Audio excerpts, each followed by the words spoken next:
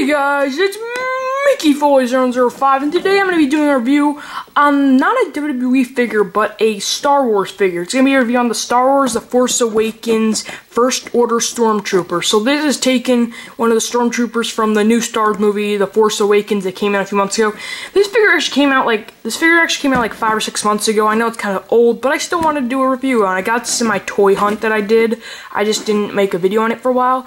And uh, yeah, so uh, right here you could see it comes with Star Wars Force Awakens. It comes with a I can't really tell from here, but it comes with one of it uh, a blaster rifle uh, or blaster pistol. Comes as a stormtrooper himself and uh, one of his vehicles. But we're gonna find out. And also in the back, right here, Force Awakens. And it comes with um it will it, it, shows you that you can how you can connect it to another um another one of the objects. And uh, yeah if you want to read that this is just it in the back. So let's get this bad boy opened so this is the Stormtrooper itself unboxed and it comes with two accessories this accessory and uh, this accessory and I'll get and it also comes with a manual uh, how to set it up, I'll get into later.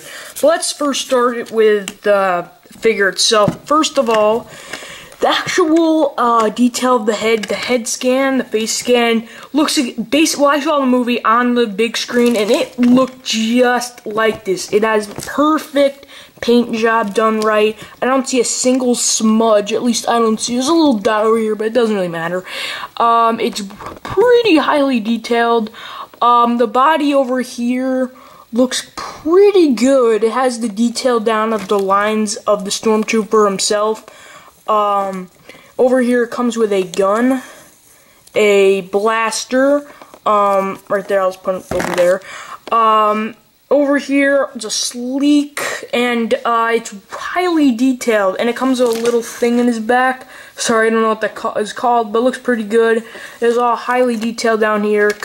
Um, and, uh, yeah, and it comes with a little holder right there. And, uh, yeah, that's the figure right here. And so far, it's highly detailed. I don't see any, uh, really any flaws of it so far.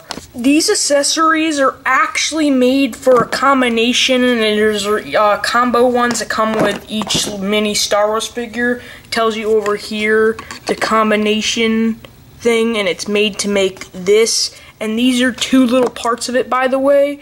And uh, that's if you get more of these mini Star Wars figures, you can make the whole uh, thing. And uh, yeah, it's pretty cool. Last but not least, I'm gonna check the articulation. So over here, boom, the head can move extremely smooth.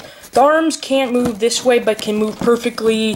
One 360 degree rotation. No, nothing wrong with it. This doesn't have any kneecap rotation or anything, but it can move over here on the flexors, can move perfectly. It actually has, it's really smooth. It's not like a like bad at all. It's not a single flaw. Of course, doesn't have every articulation over here, but over here it's all good. Um, these can't twist or anything, but the head can. And this can't twirl either, but these can move. Um, that's basically it for the articulation. But for such a small figure, uh, this is actually a highly detailed figure. I really like it. Um, the gun is even detailed. It's literally less than an inch long. It's literally like a half an inch long. You can just put it in his hand over here. Sorry about that.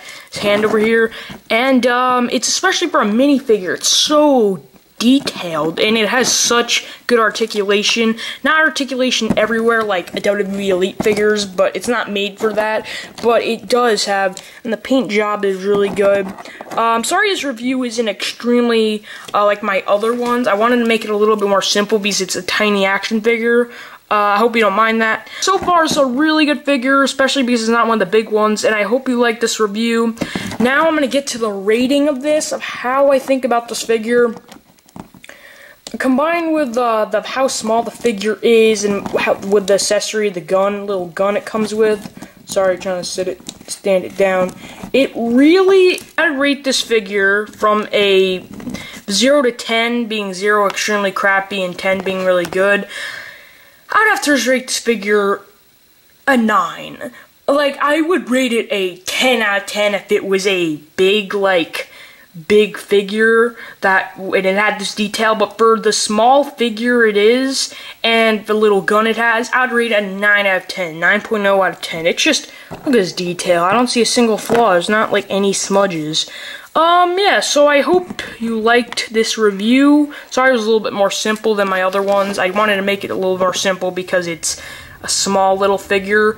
And uh, yeah, I hope you like it. And um, I'll maybe make more Star Wars figure reviews. Tell me in the comments if you like the Star Wars figure review. I'll do more and I'll make it more detailed the review because if there'll be bigger Star Wars ones. And uh, yeah, I might go on more Star Wars toy hunts or toy hunts in general. And uh, yeah, if you really liked this video, like if you want me to do more Star Wars videos and Star Wars figure videos. Don't worry, I'll still do WWE ones.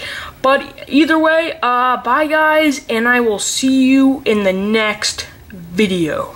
Also, don't forget to check out my drum and guitar channel. I'm going to be uploading drum and guitar videos, uploaded some already. And uh, if you like drum and guitar, you might want to uh, watch it, and the link is in the description for uh, my drum and guitar channel. And uh, yeah, I hope you check it out.